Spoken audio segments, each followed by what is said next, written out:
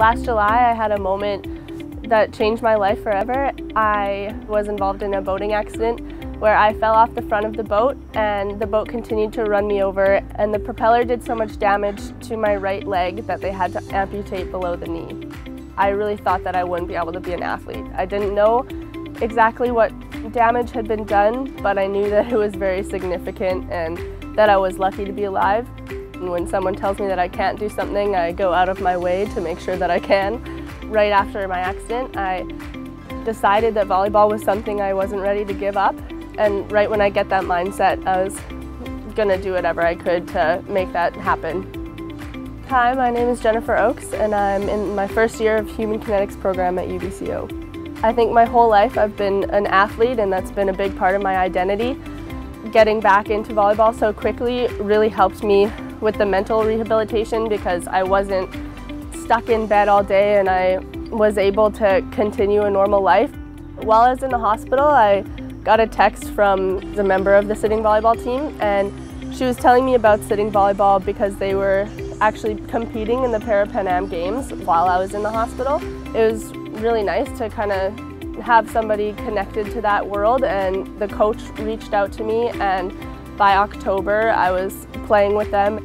It was pretty surreal to me that a year and a month after my accident I was participating in the Paralympic Games and that's just a dream that not many people get to experience and I'm so thankful that I got that opportunity. I am the youngest member on our sitting volleyball team and that's quite an honor for me.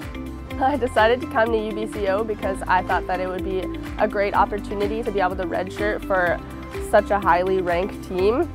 UBCO has a really good human kinetics program which I was very interested in and the smaller campus is super beautiful and it makes it easier to commute and all the classes are close together and it's really something that I was looking for. My experience here so far has been so unreal. All the teachers have been so helpful to me. Because of the Paralympics I had to miss two and a half weeks of school so that really put me behind but they're doing everything that they can to get me caught up and all the students in my class have been helpful and all the friends that I've made have been really generous with their time trying to get me caught up. Having the royal couple come visit us was so surreal. That was such an honor for them to be able to come to our school and especially to watch us play. We were all super excited about it and when they came and talked to me individually, I was astounded and was kind of lost for words, but they asked me about how my trip to Rio was and how I was able to continue playing volleyball so quickly after my accident. And it was a huge deal to me that they knew anything about my life and it was really incredible.